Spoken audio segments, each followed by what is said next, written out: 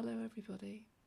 This is Kate at the Library of Whispers, and today I'm going to do something a little bit different.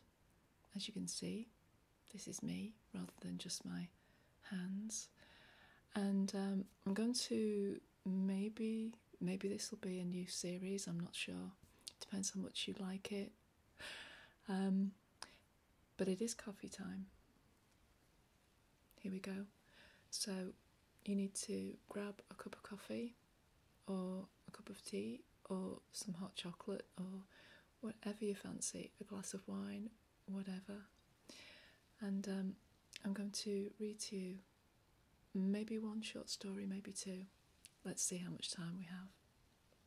So, first of all, let me have a taste of coffee. Mm. So good. Without anything in it. No gingerbread today. Now I've got my glasses with me, although I am reading from my Kindle today because the story I'm going to read is a short story from uh, a book published about 1901 and it's called Tales of Time and Space. And this is the first short story in the book, and it's called The Crystal Egg. So um, let's give it a go.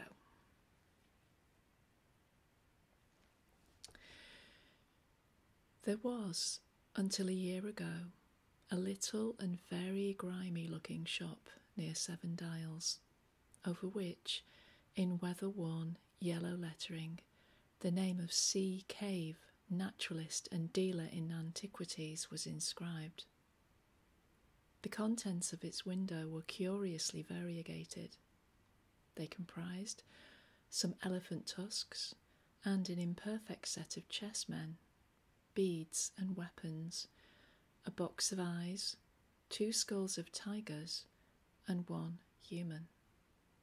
Several moth eaten stuffed monkeys, one holding a lamp, an old fashioned cabinet, a fly blown ostrich egg or so, some fishing tackle, and an extraordinarily dirty, empty glass fish tank.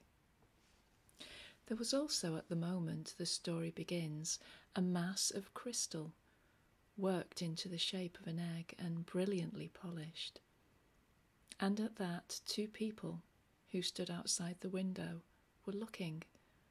One of them a tall, thin clergyman, the other a black bearded young man of dusky complexion and unobtrusive costume.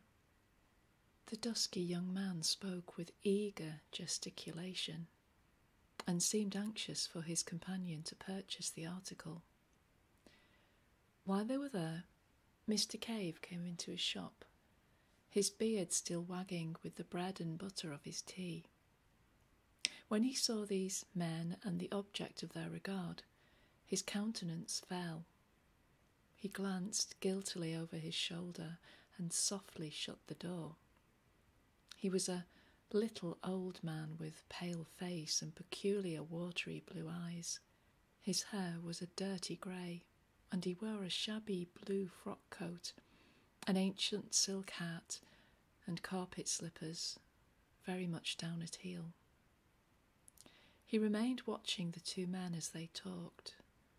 The clergyman went deep into his trouser pocket, examined a handful of money, and showed his teeth in an agreeable smile. Mr. Cave seemed still more depressed when they came into the shop. The clergyman, without any ceremony, asked the price of the crystal egg. Mr. Cave glanced nervously towards the door leading into the parlour and said, Five pounds. The clergyman protested that the price was high to his companion as well as to Mr. Cave. It was indeed very much more than Mr. Cave had intended to ask when he had stocked the article, and an attempt at bargaining ensued. Mr. Cave stepped to the shop door and held it open. Five pounds is my price, he said, as though he wished to save himself the trouble of unprofitable discussion. As he did so, the upper portion of a woman's face appeared above the blind in the glass upper panel of the door leading into the parlour, and stared curiously at the two customers. Five pounds is my price, said Mr. Cave, with a quiver in his voice.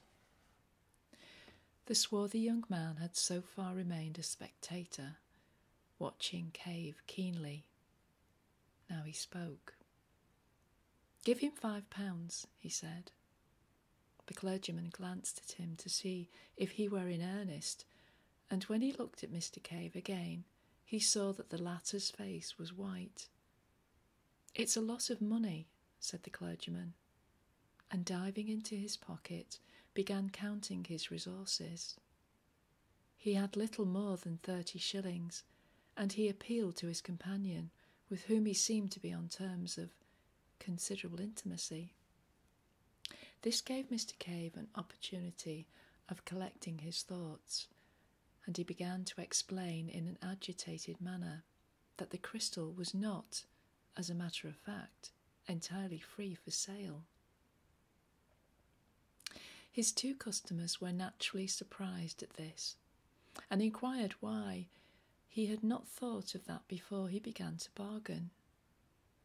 Mr. Cave became confused, but he stuck to his story that the crystal was not in the market that afternoon, that a probable purchaser of it had already appeared. The two, treating this as an attempt to raise the price still further, made as if they would leave the shop. But at this point, the parlour door opened, and the owner of the dark fringe and the little eyes appeared. She was a coarse featured, corpulent woman, younger and very much larger than Mr. Cave. She walked heavily, and her face was flushed. That crystal is for sale, she said, and five pounds is a good enough price for it. I can't think what you're about, Cave, not to take the gentleman's offer.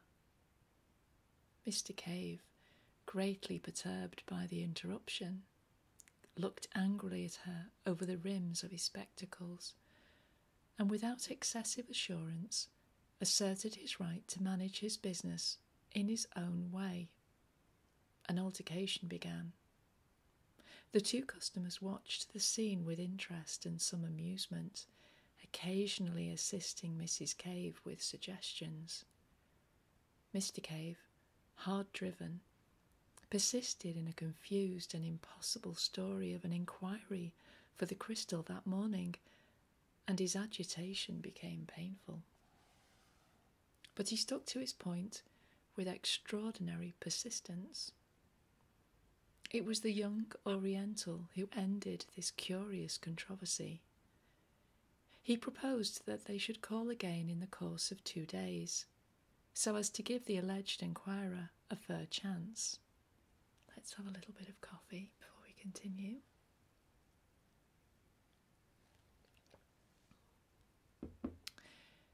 It was the young man who ended this curious controversy.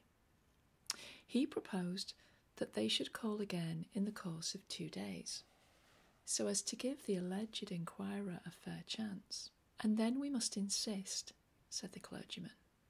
Five pounds. Mrs. Cave took it on herself to apologise for her husband, explaining that he was sometimes a little odd. And as the two customers left, the couple prepared for a free discussion of the incident in all its bearings. Mrs. Cave talked to her husband with singular directness. The poor little man, quivering with emotion, muddled himself between his stories, maintaining on the one hand that he had another customer in view, and on the other asserting that the crystal was honestly worth ten guineas. Why did you ask five pounds? said his wife. Do let me manage my business my own way, said Mr. Cave. Mr. Cave had living with him a stepdaughter and a stepson, and at supper that night the transaction was rediscussed. None of them had a high opinion of Mr. Cave's business methods, and this action seemed a culminating folly. It's my opinion he's refused that crystal before, said the stepson, a loose limbed lout of eighteen. But five pounds, said the stepdaughter, an argumentative young woman of six and twenty. Mr. Cave's answers were wretched. He could only mumble weak assertions that he knew his own business best. They drove him from his half eaten supper into the shop to close it for the night, his ears aflame and tears of vexation behind his spectacles. Why had he left the crystal in the window so long? The folly of it. That was the trouble, closest in his mind. For a time he could see no way of evading sale. After supper, his stepdaughter and stepson smartened themselves up and went out, and his wife retired upstairs to reflect upon the business aspects of the crystal over a little sugar and lemon and so forth in hot water. Mr. Cave went into the shop and stayed there until late, ostensibly to make ornamental rockeries for goldfish cases, but really for a private purpose that will be better explained later. The next day, Mrs. Cave found that the crystal had been removed from the window and was lying behind some second hand books on angling. She replaced it in a conspicuous position, but she did not argue further about it, as a nervous headache disinclined her from debate. Mr. Cave was always disinclined. The day passed disagreeably. Mr. Cave was, if anything, more absent minded than usual, and uncommonly irritable withal. In the afternoon, when his wife was taking her customary sleep, he removed the crystal from the window again. Let's have a little bit more coffee. The next day, Mr. Cave had to deliver a consignment of dogfish at one of the hospital schools, where they were needed for dissection. In his absence, Mrs. Cave's mind reverted to the topic of the crystal and the methods of expenditure suitable to a windfall of five pounds. She had already devised some very agreeable expedients, among others, a dress of green silk for herself and a trip to Richmond when a jangling of the front doorbell summoned her into the shop. The customer was an examination coach who came to explain of the non delivery of certain frogs asked for the previous day. Mrs. Cave did not approve of this particular branch of Mr. Cave's business, and the gentleman who had called in a somewhat aggressive mood retired after a brief exchange of words, entirely civil so far as he was concerned. Mrs. Cave's eye then naturally turned to the window, for the sight of the crystal was an assurance of the five pounds and of her dreams. What was her surprise to find it gone? She went to the place behind the locker on the counter where she had discovered it the day before. It was not there, and she immediately began an eager search about the shop. When Mr. Cave returned from his business with the dogfish about a quarter to two in the afternoon, he found the shop in some confusion and his wife extremely exasperated and on her knees behind the counter, rooting among his taxidermic material. Her face came up hot and angry over the counter as the jangling bell announced his return, and she forthwith accused him of hiding it. Hid what? asked Mr. Cave. The crystal. At that, Mr. Cave, apparently much surprised, rushed to the window. Isn't it here? he said. Great heavens, what has become of it? Just then, Mr. Cave's stepson re entered the shop from the inner room. He had come home a minute or so before Mr. Cave, and he was blaspheming freely. He was apprenticed to a second hand furniture dealer down the road, but he had his meals at home, and he was naturally annoyed to find no dinner ready. But when he heard of the loss of the crystal, he forgot his meal, and his anger was diverted from his mother to his stepfather. Their first idea, of course, was that he had hidden it, but Mr. Cave stoutly denied all knowledge of its fate, freely offering his bedabbled affidavit in the matter, and at last was worked up to the point of accusing first his wife and then his stepson of having taken it with a view to a private sale. So began an exceedingly acrimonious and emotional discussion, which ended for Mrs. Cave in a peculiar nervous condition midway between hysterics and amok, and caused the stepson to be half an hour late at the furniture establishment in the afternoon. Mr. Cave took refuge from his wife's emotions in the shop. In the evening, the matter was resumed with less passion and in a judicial spirit under the presidency of the stepdaughter. The supper passed unhappily and culminated in a painful scene. Mr. Cave gave way at last to extreme exasperation and went out banging the front door violently. The rest of the family, having discussed him with the freedom his absence warranted, hunted the house from garret to cellar, hoping to light upon the crystal.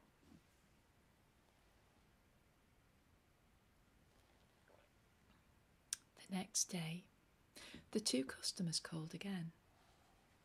They were received by Mrs. Cave almost in tears. It transpired that no one could imagine all that she had stood from Cave at various times in her marriage pilgrimage. She also gave a garbled account of the disappearance. The clergyman and the young man laughed silently at one another and said it was very extraordinary. As Mrs. Cave seemed disposed to give them the complete history of her life, they made to leave the shop. Thereupon, Mrs. Cave, still clinging to hope, asked for the clergyman's address, so that if she could get anything out of Cave, she might communicate it. The address was duly given, but apparently was afterwards mislaid. Mrs. Cave can remember nothing about it. In the evening of that day, the caves seemed to have exhausted their emotions, and Mr. Cave, who had been out in the afternoon, supped in a gloomy isolation that contrasted pleasantly with the impassioned controversy of the previous days.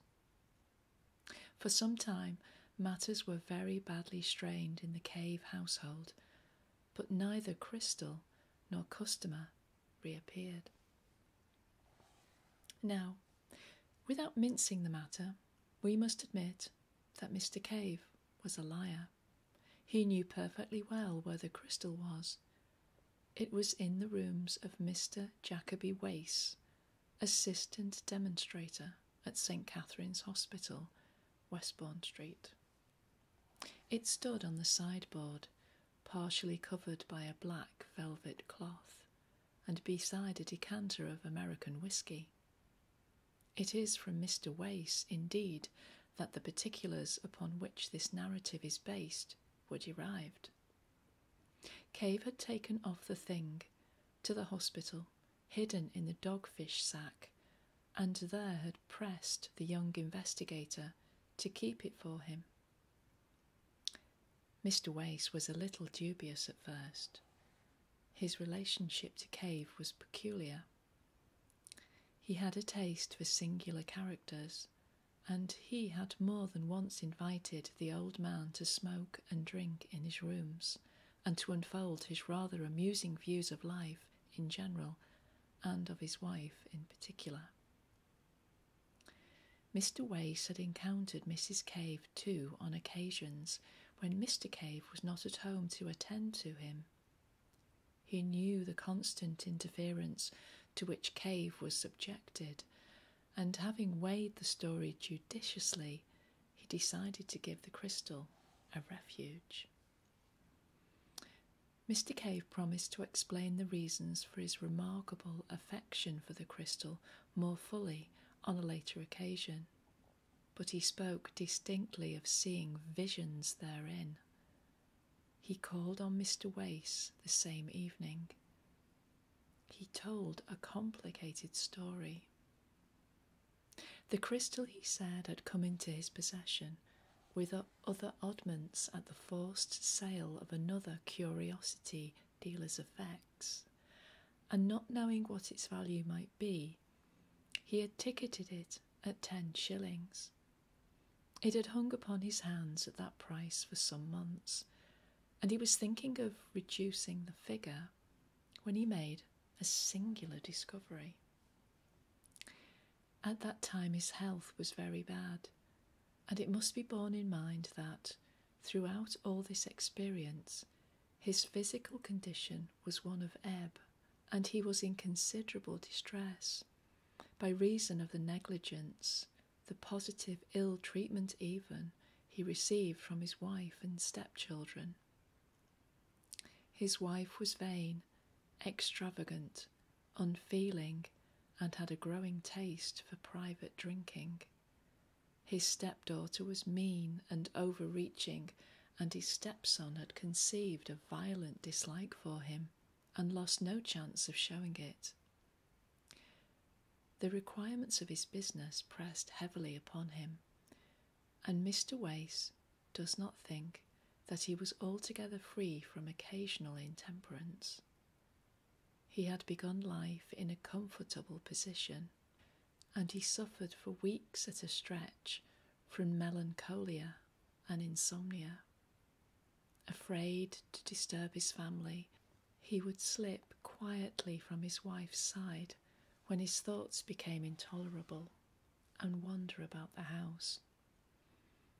And about three o'clock one morning, late in August, chance directed him into the shop. The dirty little place was impenetrably black, except in one spot, where he perceived an unusual glow of light. Approaching this, he discovered it to be the crystal egg, which was standing on the corner of the counter towards the window. A thin, ray smote through a crack in the shutters, impinged upon the object, and seemed as if it were to fill its entire interior. It occurred to Mr. Cave that this was not in accordance with the laws of optics as he had known them in his younger days. He could understand the rays being refracted by the crystal and coming to a focus in its interior. But the diffusion jarred with his physical conceptions. He approached the crystal nearly, peering into it and round it with a transient revival of the scientific curiosity that in his youth had determined his choice of a calling. He was surprised to find the light not steady, but writhing within the substance of the egg as though that object was a hollow sphere of some luminous vapour. In moving about to get different points of view, he suddenly found that he had come between it and the ray, and that the crystal none the less remained luminous. Greatly astonished, he lifted it out of the light ray and carried it to the darkest part of the shop. It remained bright for some four or five minutes when it slowly faded and went out. He placed it in the thin streak of daylight, and its luminousness was almost immediately restored. Let's have a bit more coffee.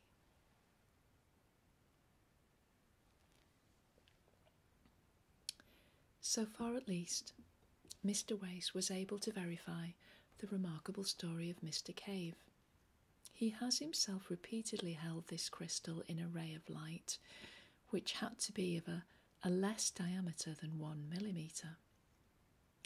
And in a perfect darkness, such as could be produced by velvet wrapping, the crystal did undoubtedly appear very faintly phosphorescent.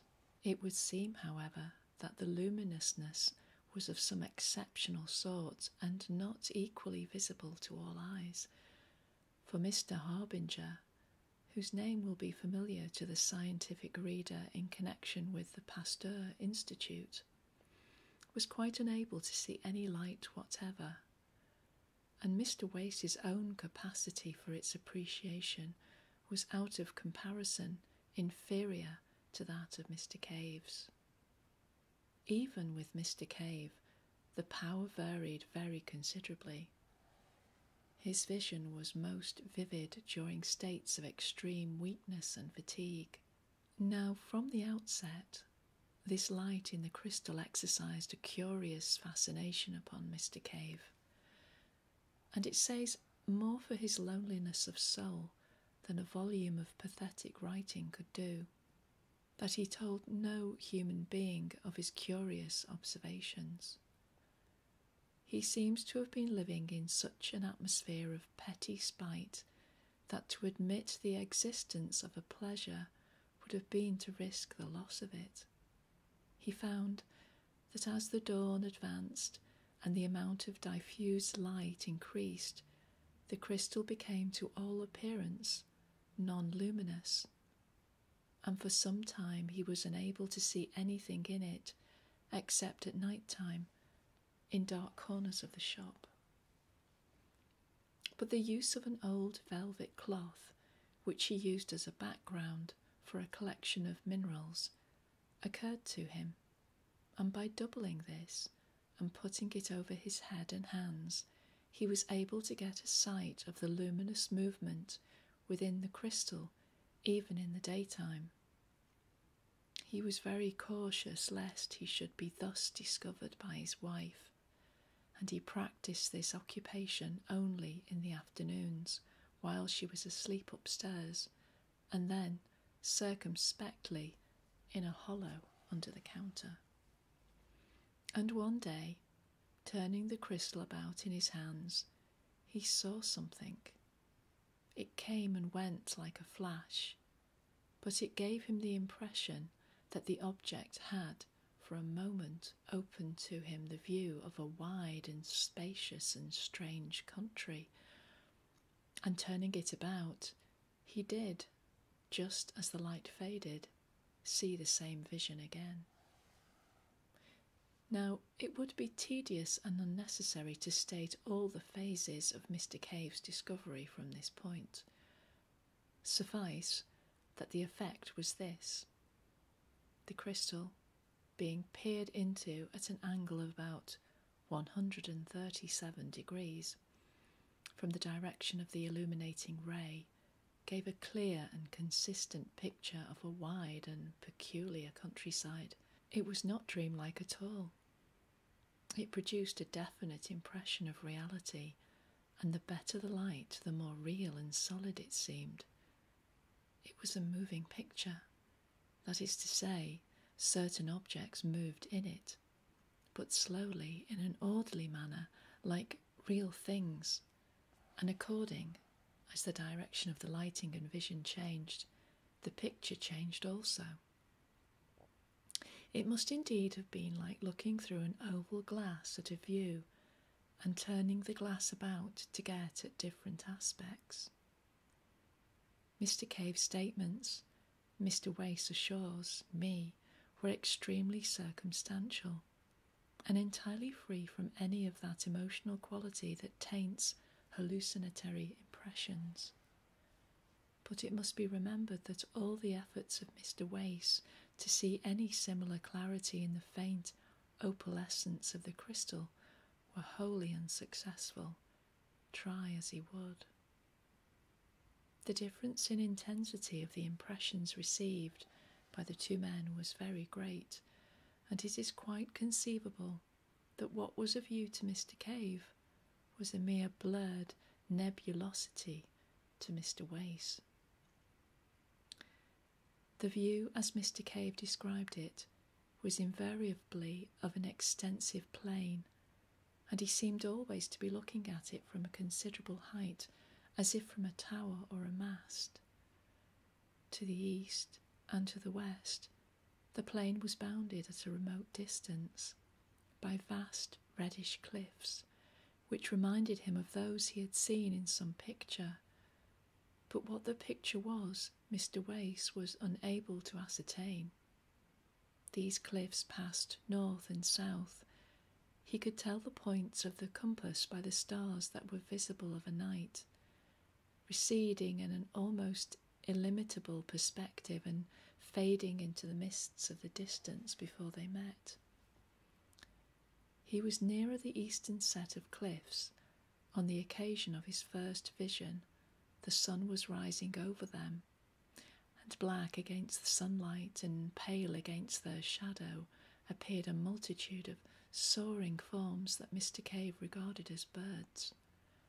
A vast range of buildings spread below him. He seemed to be looking down upon them, and as they approached the blurred and refracted edge of the picture, they became indistinct. There were also trees curious in shape and in colouring, a deep mossy green and an exquisite grey beside a wide and shining canal. And something great and brilliantly coloured flew across the picture. But for the first time, Mr. Cave saw these pictures. He saw only in flashes. His hands shook, his head moved. The vision came and went and grew foggy and indistinct.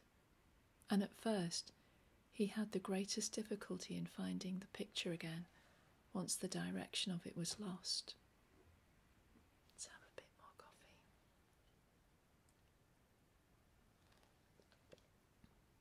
His next clear vision, which came about a week after the first, the interval having yielded nothing but tantalizing glimpses and some useful experience, showed him the view down the length of the valley. The view was different, but he had a curious persuasion, which his subsequent observations abundantly confirmed, that he was regarding this strange world from exactly the same spot, although he was looking in a different direction. The long facade of the great building, whose roof he had looked down upon before, was now receding in perspective. He recognized the roof. In the front of the facade was a terrace of massive proportions and extraordinary length, and down the middle of the terrace, at certain intervals, stood huge but very graceful masts, bearing small shiny objects which reflected the setting sun. The import of these small objects did not occur to Mr. Cave until some time after, as he was describing the scene to Mr. Wace. The terrace overhung a thicket of the most luxuriant and graceful vegetation, and beyond this was a wide grassy lawn on which certain broad creatures, in form like beetles but enormously larger, reposed. Beyond this again was a richly decorated causeway of pinkish stone, and beyond that, and lined with dense red weeds, and passing up the valley exactly parallel with the distant cliffs, was a broad and mirror like expanse of water. The air seemed full of squadrons of great birds manoeuvring in stately curves and across the river was a multitude of splendid buildings, richly coloured and glittering with metallic tracery and facets, among a forest of moss like and lichenous trees. And suddenly something flapped repeatedly across the vision, like the fluttering of a jewelled fan or the beating of a wing, and a face, or rather the upper part of a face, with very large eyes came as it were close to his own, and as if on the other side of the crystal. Mr. Cave was so startled and so impressed by the absolute reality of these eyes that he drew his head back from the crystal to look behind it. He had become so absorbed in watching that he was quite surprised to find himself in the cool darkness of his little shop, with its familiar odour of methyl, mustiness, and decay. And as he blinked about him, the glowing crystal faded and went out. Such were the first general impressions of Mr. Cave. The story is curiously direct and circumstantial. From the outset, when the valley first flashed momentarily on his senses, his imagination was strangely affected, and as he began to appreciate the details of the scene he saw, his wonder rose to the point of a passion. He went about his business listless and distraught, thinking only of the time when he should be able to return to his watching. And then, a few weeks after his first sight of the valley, came the two customers. The stress and excitement of their offer, and the narrow escape of the crystal from sale, as I have already told. Now, while the thing was Mr. Cave's secret, it remained a mere wonder, a thing to creep to covertly and peep at as a child might peep upon a forbidden garden. But Mr. Wace has, for a young scientific investigator, a particular lucid and consecutive habit of mind. Directly the crystal and its story came to him, and he had satisfied himself by seeing the phosphorescence with his own eyes, that there really was certain evidence for Mr. Cave's statements, he proceeded to develop the matter systematically. Mr. Cave was only too eager to come and feast his eyes on this wonderland he saw, and he came every night from half past eight until half past ten, and sometimes in Mr. Wace's absence during the day. On Sunday afternoons also he came. From the outset, Mr. Wace made copious notes, and it was due to his scientific method that the relation between the direction from which the initiating ray entered the crystal and the orientation of the picture were proved. And by covering the crystal in a box perforated only with a small aperture to admit the exciting ray, and by substituting black Holland for his buff blinds, he greatly improved the conditions of the observations, so that in a little while they were able to survey the valley in any direction they desired. So, having cleared the way, we may give a brief account of this visionary world within the crystal. The things were in all cases seen by Mr. Cave, and the method of working was invariably for him to watch the crystal and report what he saw, while Mr. Wace, who as a science student had learnt the trick of writing in the dark, wrote a brief note of his report. When the crystal faded, it was put into a box in the proper position and the electric light turned on. Mr. Wace asked questions and suggested observations to clear up difficult points. Nothing, indeed, could have been less visionary and more matter of fact.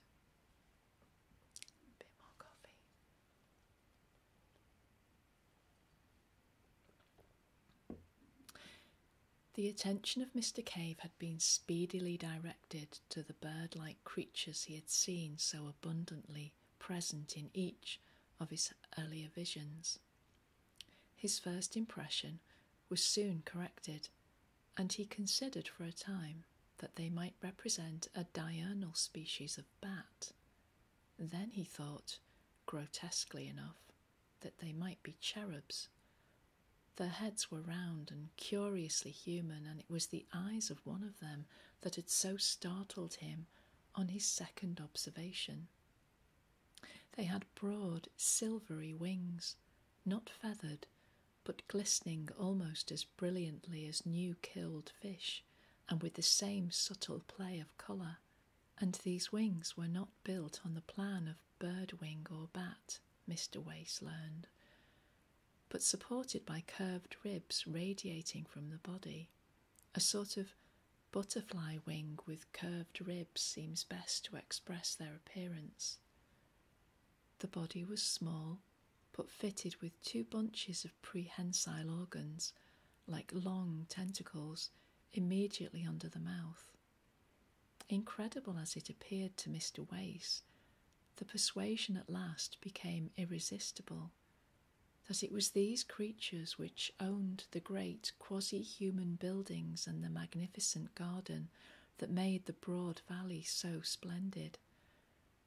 And Mr. Cave perceived that the buildings, with other peculiarities, had no doors, but that the great circular windows which opened freely gave the creatures egress and entrance. They would light upon their tentacles, fold their wings to a smallness almost rod like, and hop into the interior. But among them was a multitude of smaller winged creatures, like great dragonflies and moths and flying beetles, and across the greensward, brilliantly coloured, gigantic ground beetles crawled lazily to and fro. Moreover, on the causeways and terraces, large headed creatures similar to the greater winged flies but wingless were visible, hopping busily upon their hand like tangle of tentacles. Allusion has already been made to the glittering objects upon masts that stood upon the terrace of the nearer building. It dawned upon Mr. Cave, after regarding one of these masts very fixedly on one particularly vivid day, that the glittering object there was a crystal exactly like that into which he peered, and a still more careful scrutiny convinced him that each one in a vista of nearly twenty carried a similar object. Occasionally, one of the large flying creatures would flutter up to one and, folding its wings and coiling a number of its tentacles about the mast, would regard the crystal fixedly for a space, sometimes for as long as fifteen minutes. And a series of observations, made at the suggestion of Mr. Wace, convinced both watchers that, so far as this visionary world was concerned, the crystal into which they peered actually stood at the summit of the endmost mast on the terrace, and that, on one occasion at least, one of these inhabitants of this other world had looked into Mr. Cave's face while he was making these observations. So much for the essential facts of this very singular story.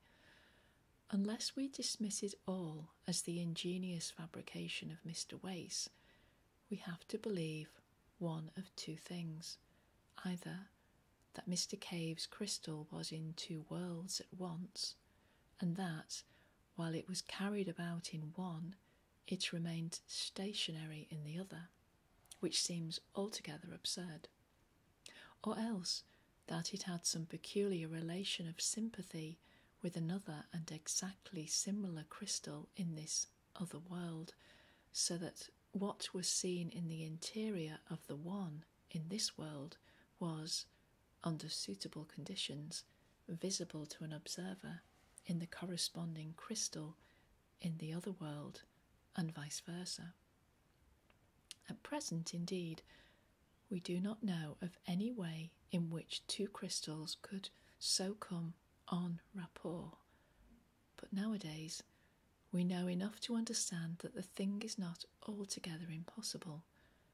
This view of the crystals as en rapport was the supposition that occurred to Mr. Wace, and to me at least it seems extremely plausible. And where was this other world? On this also the alert intelligence of Mr. Wace speedily threw light. After sunset, the sky darkened rapidly. There was a very brief twilight interval indeed, and the stars shone out. They were recognizably the same as those we see arranged in the same constellations.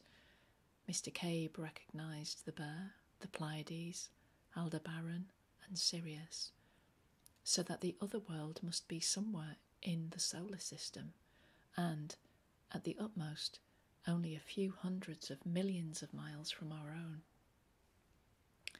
Following up this clue, Mr. Wace learned that the midnight sky was a darker blue even than our midwinter sky, and that the sun seemed a little smaller, and there were two small moons, like our moon, but smaller and quite differently marked, one of which moved so rapidly that its motion was clearly visible as one regarded it.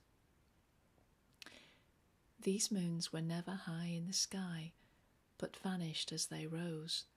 That is, every time they revolved, they were eclipsed because they were so near their primary planet. And all this answers quite completely, although Mr. Cave did not know it, to what must be the condition of things on Mars. Indeed, it seems an exceedingly plausible conclusion that peering into this crystal, Mr. Cave did actually see the planet Mars and its inhabitants. And if that be the case, then the evening star that shone so brilliantly in the sky of that distant vision was neither more nor less than our own familiar Earth. For a time, the Martians, if they were Martians, did not seem to have known of Mr. Cave's inspection. Once or twice one would come to peer and go away very shortly to some other mast, as though the vision was unsatisfactory. During this time, Mr. Cave was able to watch the proceedings of these winged people without being disturbed by their attentions, and although his report is necessarily vague and fragmentary, it is nevertheless very suggestive. Imagine the impression of humanity a Martian observer would get, who, after a difficult process of preparation and with considerable fatigue to the eyes, was able to peer at London from the steeple of St. Martin's Church for stretches at longest of four minutes at a time. Mr. Cave was unable to ascertain if the winged Martians were the same as the Martians who hopped about the causeways and terraces, and if the latter could put on wings at will. He several times saw certain clumsy bipeds, dimly suggestive of apes, white and partially translucent, feeding among certain of the lichenous trees, and once some of these fled before one of the hopping, round headed Martians. The latter caught one in its tentacles, and then the picture faded suddenly and left Mr. Cave most tantalizingly in the dark. On another occasion, a vast thing that Mr. Cave thought at first was some gigantic insect appeared advancing along the causeway beside the canal with extraordinary rapidity. As this drew nearer, Mr. Cave perceived that it was a mechanism of shining metals and of extraordinary complexity, and then, when he looked again, it had passed out of sight. After a time, Mr. Wace aspired to attract the attention of the Martians, and the next time that the strange eyes of one of them appeared close to the crystal, Mr. Cave cried out and sprang away, and they immediately turned on the light and began to gesticulate in a manner suggestive of signalling. But when at last Mr. Cave examined the crystal again, the Martian had departed. Thus far, these observations had progressed in early November, and then Mr. Cave, feeling that the suspicions of his family about the crystal were allayed, began to take it to and fro with him in order that, as occasion arose in the daytime or night, he might comfort himself with what was fast becoming the most real thing in his existence. In December, Mr. Wace's work in connection with a forthcoming examination became heavy. The sittings were reluctantly suspended for a week, and for ten or eleven days, he is not quite sure which, he saw nothing of Cave. He then grew anxious to resume these investigations, and the stress of his seasonal labours being abated, he went down to Seven Dials. At the corner, he noticed a shutter before a bird fancier's window and then another at a cobbler's. Mr. Cave's shop was closed. He rapped, and the door was opened by the stepson in black.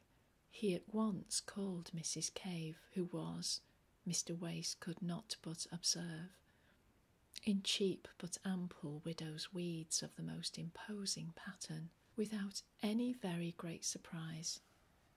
Mr. Wace learnt that Cave was dead and already buried. She was in tears, and her voice was a little thick. She had just returned from Highgate. Her mind seemed occupied with her own prospects and the honourable details of the obsequies, but Mr. Wace was at last able to learn the particulars of Cave's death. He had been found dead in his shop in the early morning, the day after his last visit to Mr. Wace, and the crystal had been clasped in his stone cold hands. His face was smiling, said Mrs. Cave, and the velvet cloth from the minerals lay on the floor at his feet. He must have been dead five or six hours when he was found. This came as a great shock to Wace, and he began to reproach himself bitterly for having neglected the plain symptoms of the old man's ill health. But his chief thought was of the crystal he approached that topic in a gingerly manner because he knew Mrs. Cave's peculiarities. He was dumbfounded to learn that it was sold. Mrs. Cave's first impulse, directly Cave's body had been taken upstairs, had been to write to the mad clergyman who had offered five pounds for the crystal, informing him of its recovery. But after a violent hunt, in which her daughter joined her, they were convinced of the loss of his address. As they were without the means required to mourn and bury Cave in the elaborate style the dignity of an old Seven Dials inhabitant demands, they had appealed to a friendly fellow tradesman in Great Portland Street. He had very kindly taken over a portion of the stock at a valuation the valuation was his own, and the crystal egg was included in one of the lots.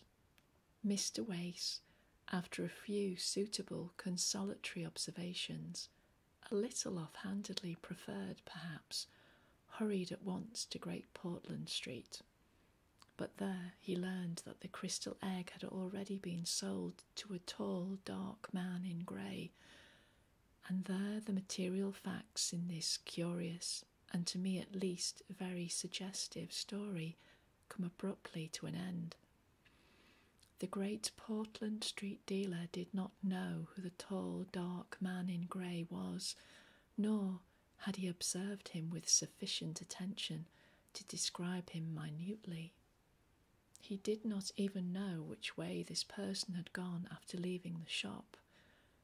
For a time, Mr. Wace remained in the shop, trying the dealer's patience with hopeless questions, venting his own exasperation.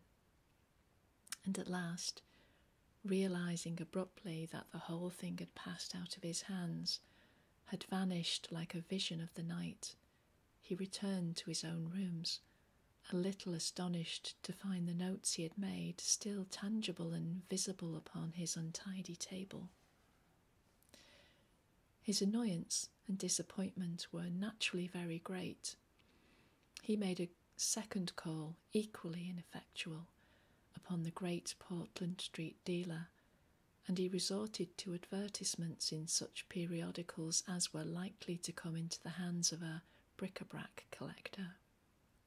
He also wrote letters to the Daily Chronicle and Nature, but both these periodicals, suspecting a hoax, asked him to reconsider his action before they printed, and he was advised that such a strange story, unfortunately so bare of supporting evidence, might imperil his reputation as an investigator. Moreover, the calls of his proper work were urgent. So that after a month or so, save for an occasional reminder to certain dealers, he had reluctantly to abandon the quest for the crystal egg, and from that day to this, it remains undiscovered. Occasionally, however, he tells me, and I can quite believe him, he has bursts of zeal in which he abandons his more urgent occupation and resumes the search. Whether or not it will remain lost forever, with the material and origin of it, are things equally speculative at the present time. If the present purchaser is a collector, one would have expected the enquiries of Mr. Wace to have reached him through the dealers. He has been able to discover Mr. Cave's clergyman and the young man, no other than the Reverend James Parker and the young Prince of Bosso Kuni in Java. I am obliged to them for certain particulars. The object of the prince was simply curiosity and extravagance. He was so eager to buy because Cave was so oddly reluctant to sell.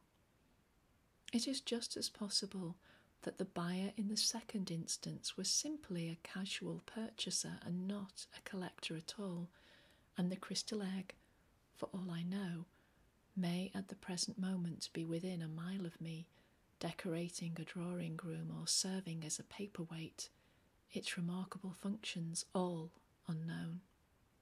Indeed, it is partly with this idea of such a possibility that I have thrown this narrative into a form that will give it a chance of being read by the ordinary consumer of fiction. My own ideas in the matter are practically identical with those of Mr. Wace. I believe the crystal on the mast in Mars and the crystal egg of Mr. Caves to be in some physical but at present quite inexplicable way en rapport, and we both believe further that the terrestrial crystal must have been, possibly at some remote date, sent hither from that planet in order to give the Martians a near view of our affairs. Possibly the fellows to the crystals in the other masts are also on our globe. No theory of hallucination suffices for the facts. And that ends the story of the crystal egg. I hope you enjoyed that. And I hope you managed to finish your hot drink if you had one.